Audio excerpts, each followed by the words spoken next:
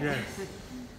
the Gothic style was born in the Middle Ages, and in the 19th century, the, the architects decided to build again the churches using that Gothic style. That's why it's called Neo-Gothic style.